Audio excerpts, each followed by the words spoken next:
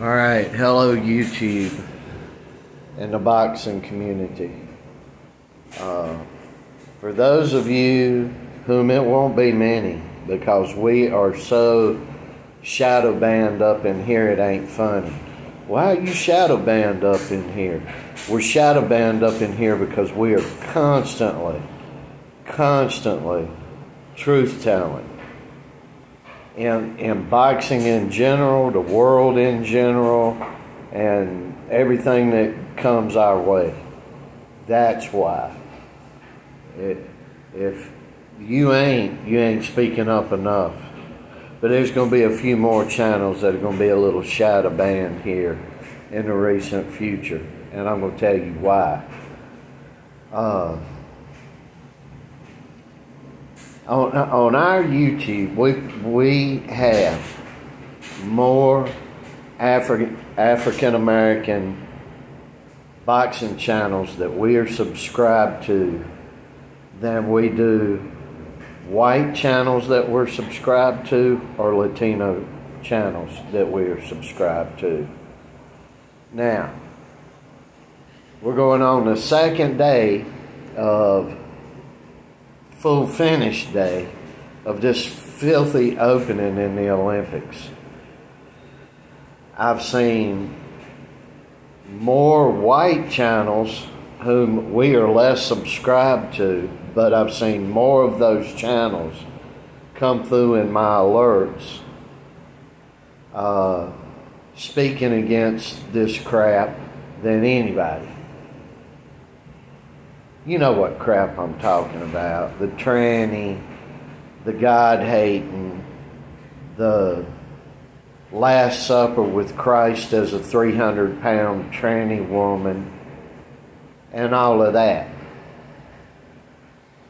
Uh, if you don't know, you need to crawl out from under the fucking rock you've been under and open your eyes and look around you because you're a dumbass you don't know what I'm talking about with that, and you in boxing, you are lunatic, you idiot, ignorant. I've seen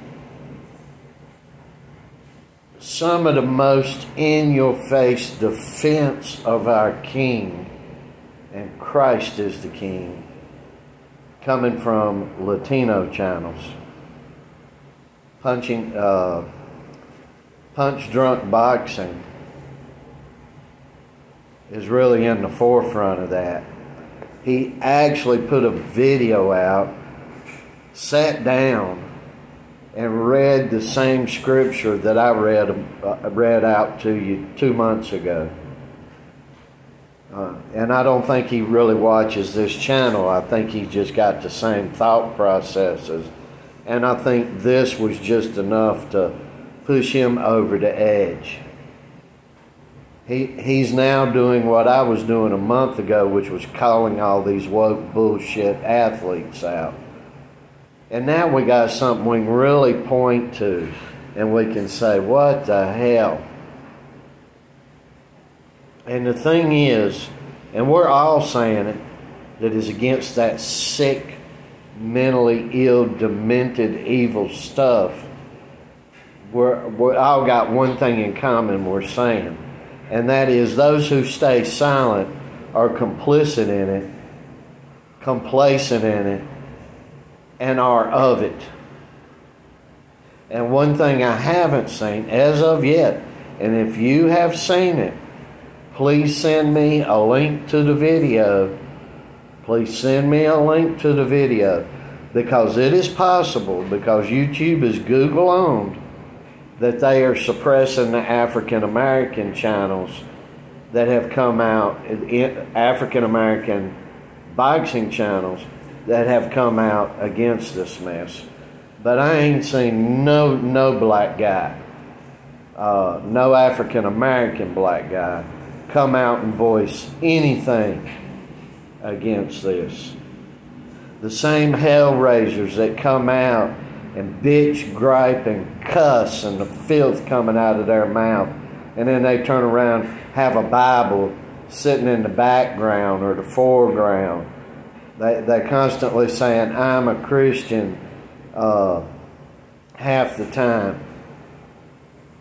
And some ain't. But they got big damn mouths. That's one thing they got big mouths. And I ain't seen one of them come out yet and vocally and aggressively go against that filth we saw in those Olympics. And it could be that they don't want to piss off LeBron James fans. Uh, yeah, LeBron James fans. Or this Dwyane Wade who come out and said he loved God some years ago, then had a little boy and now calling the little boy a little girl and right with this sick shit. Where are you?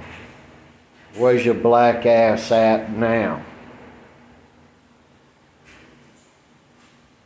I defend you guys and defend you guys.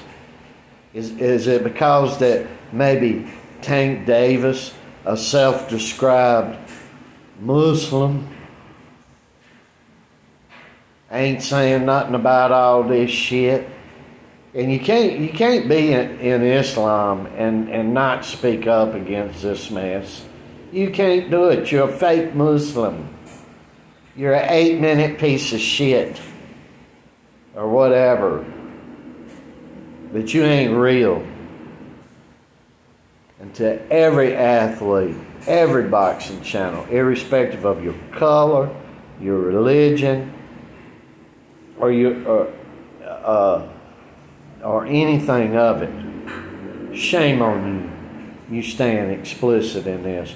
But I am totally shocked totally shocked with the big mouse, boisterous, tough things out of the African American channels that I see on a daily basis that you're really little girls that are sitting back and staying silent in this.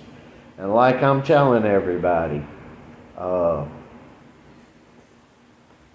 if you see one, a channel, and, and it's an African American, and they are really getting down with it in defense against that shit, that filth in those opening games.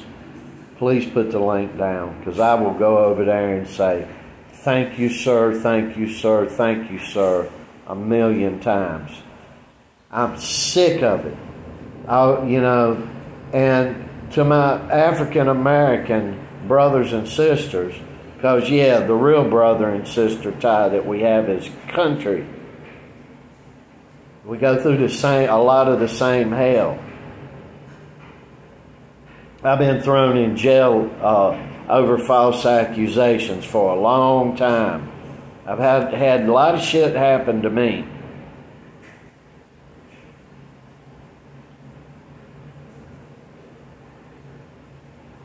I see a lot of you guys, you sat back, you whining. I well, can't do bust their face being racist, uh, bust their face being this, bust this guy's face for that. Uh, having a damn fit over uh, the color of Tank Davis's pocketbook. Why you try to be done act tough, and you ain't tough at all. When it comes to standing up for something really real, you ain't gonna do it. You gonna go along with the ball game. You're gonna vote for who you're told to vote for. You're gonna do what the guy across the street tells you to do. And what the kids down at the ballpark are doing, you're gonna be doing. And it's about as simple as that. We have a racist old guy for pointing out. Oh, really? I'm a racist old guy because people from damn near every race on earth has been uh, littering the front of my YouTube and jamming my YouTube alerts because they're so angry about this shit. And they are calling these athletes complicit and evil for staying there in the Olympics. And they are, all of them, not just the boxers. The rest of them are too. You guys are acting, you guys are Antichrist. Because you never seem to have a voice against any debauchery, evilness, sickness, immoralness known to man. Y'all uh, just playing victim. Somebody's hurt you. So where are you guys at? I know there's a lot of you out there. I know, I know the majority of my African American brothers and sisters do not like this shit that they saw. But I know I know another thing. They're too scared to speak up because everybody in in their community they're scared of what this guy's going to say, what these liberal pussy ass Democrats going to say that lives three doors down. Stand the fuck up because it worries me too. Yet I stand. They're in Whiteyville over here too as I sit. And they're in Latinoville also. There's been more fucking atheist Chinese stand up than African Americans against that filth that took place over there in France. You people are sucking right about now. And I mean it. A damn drop of a pen, you got 5,000 videos going off saying the same thing at one fucking time. And then something major goes on, and you all ran off and hidden. You have to really think how am I going to say I'm a Christian? A real one. Not that. I thank God every day for everything I. That's bullshit. The real Christian kicks in when you're in defense of your fellow Christians. When, when you are defending against evil and filth in this world. That's when the backbone comes. That's when the heart comes.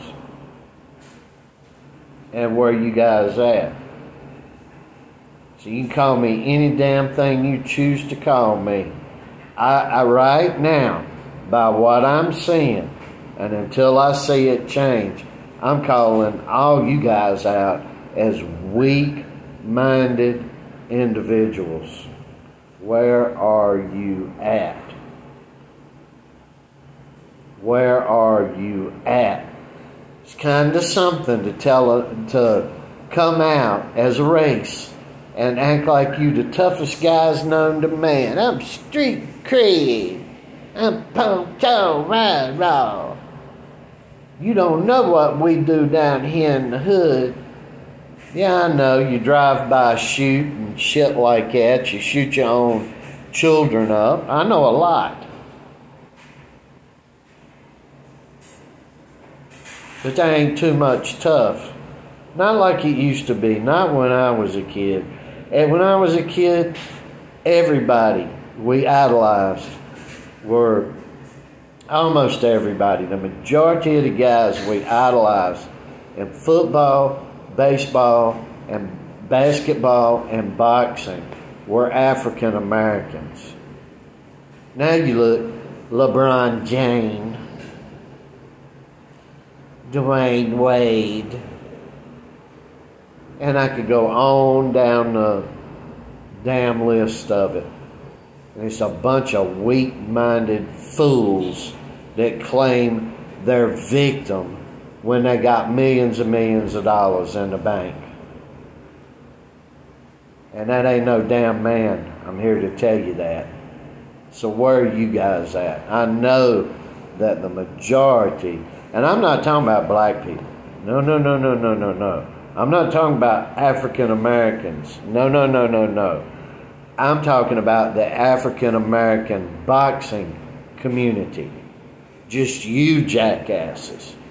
Because I've seen plenty of African American pastors. uh, plenty of African American professionals, plenty of African American normal, average, everyday Joe and James that are speaking against this shit, laying it all out on the line, not giving a damn about who thinks what. And then there's you.